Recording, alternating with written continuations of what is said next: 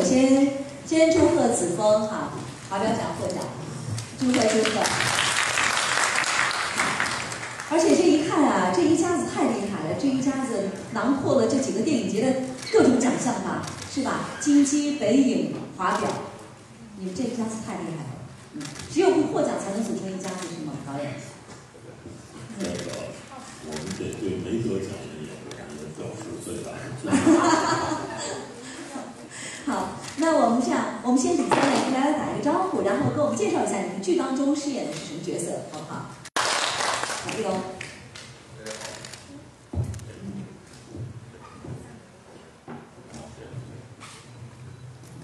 大家好，我是演员朱一龙，然后我这次在《志愿军》中饰演六十三军一营教导员李想。李想，在拍这部戏的表现吧。我刚才已经说了，就是他们都，他们都挺挺好的，啊，那个就是各有各的好处嘛。嗯。呃，但是我觉得就是精气神儿是一致的。嗯。你比如说子枫刚来的时候，我老觉得这个他的气势真的是不错，但是呢，啊，稍微有点瘦小，啊，但是昨天晚上拍了一镜头，拍完之后我跟张鹏说，我说，你看见没有，你有点巾帼英雄的范儿，啊，就是因为就是可能太多的这个战争场面，他自己都经历了。嗯。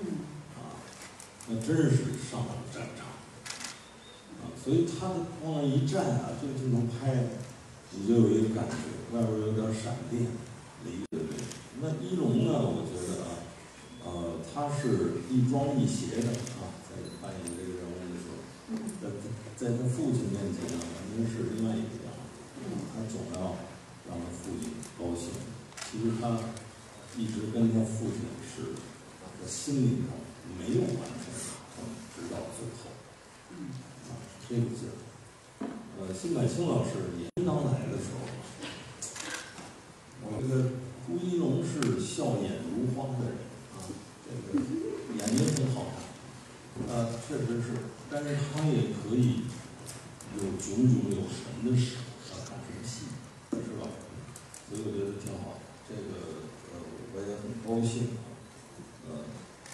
因为我们呃都是一个自认为是不是自认为是职工也是，就是职业工作者啊，所以他们他们不会有任何的啊有违他们作为演员的啊规则事情发生，没有，做的非常好，就是无可挑剔，嗯啊这四个字的评价很高啊！不不是，这这不不要把它极端化啊。我说不是，我说无可挑剔的意思就是就是态度无可挑剔。呃，演的也好，不不是说我光来一个态度，他他不是光是态度。此处该找谁？我我我还是这个导演这么高的评价，无可挑剔哈。我我我是觉得是这么着。那一龙呢？一龙这一次是和导演第一次合作吧？对，第一次合作。也是你第一次演志愿军，对吧？对。你先做，你先说一下你做了什么准备？跟北辰哥一样，我们先在开拍前进行训练，除了站军姿之外，还有战术一些战术动作。嗯。然后。你们俩是一块训的吗？一块训的。对，有有一个阶段是碰在一起的。哦。然后也是，然后看纪录片，关于铁人组战，整个那一段时期的纪录片。然后战斗动作，我觉得确实训练确实是有用。到战场上之后，当整个环境特别还原的时候，然后那些战术动作，如果之前没有训练的话，你很难兼顾这些战术动作，同时去表达那个人物。对，所以嗯。哎，给你们，给你们都集中到哪去给你们军训啊？在怀柔。中影基地，啊，中影吗？封闭式训练吗？对。啊，找找部队的来给你们训是吗？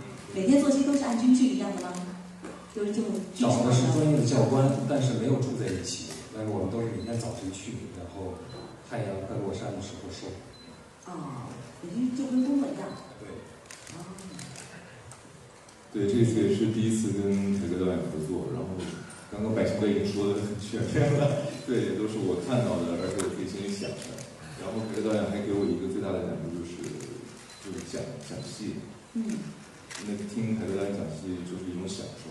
每次拍完一条之后，凯歌导演就一个人来一场，然后那个时候就就会赶紧跑回来，跑回来，因为知道凯歌导演他是呃特别一针见血，然后特别特别。呃，准确的，然后特别生动的把刚刚我所干完的之后所有的问题和怎么能更好，然后讲给我，然后每次我感觉凯歌导演讲戏的整个过程已经是像一个艺术性的这样的一个事情，然后我也特别享受整个过程。嗯嗯，那你在这个呃这个这个角色哈，你再给我们多介绍一下你的这个角色呢？大家也很想知道。嗯，就是嗯对理想，我觉得嗯，其实他名字也代表了一些理想，我觉得他是哦对，嗯人如其名，嗯嗯然后他在里面是一个有理想、有抱负、有信念的这样的一个呃志愿军的形象。对，嗯，然后是你们是父子两个人，亲人，这样亲爷俩一个是英雄，二是好汉，自己夸自己。就内心已经发生了化学反应了。啊，好，那第二个问题哈，呃，是问演员们的，说，呃，如果让你用一句话概括自己的角色，你会说什么呢？来听，反正你们三人都得回答的，所以对，其实其实我刚刚也说的就差不多，就像理想的名字一样，理想的人，然后他在里面，嗯，就是他是有理想、有抱负，然后特别的坚定，然后呃特别的无私这样的一个志愿军的形象。嗯，他是他是有有呃，就是一个兵吗？小兵吗？他是一营的教导员，一营的教导员。对，能文能武，能文能武这样的一个教导员。哦，嗯，好，那各位，谢谢今天来到我们现场的大家，做了一个这么多，做了一个分享，谢谢。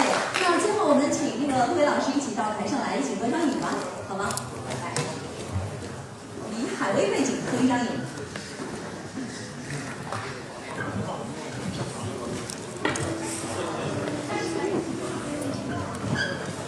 周姐姐，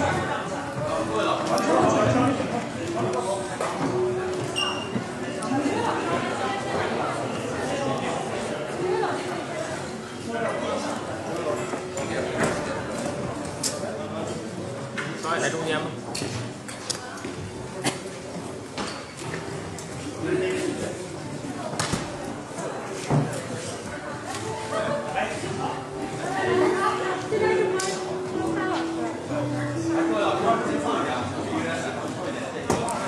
来，各位老师看这个位置啊，来，看我这边，来，再来一张，来，一二三，再来一张。好，我们右边，别动，别动，先别动了。右边看一下。右边看一下，谢谢。右边这边，这边，这边右边看一眼，谢谢。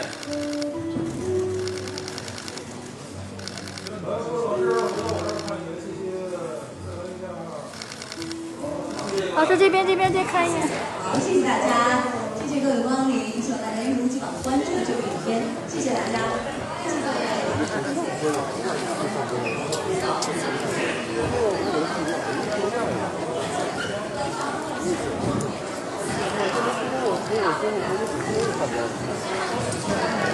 位。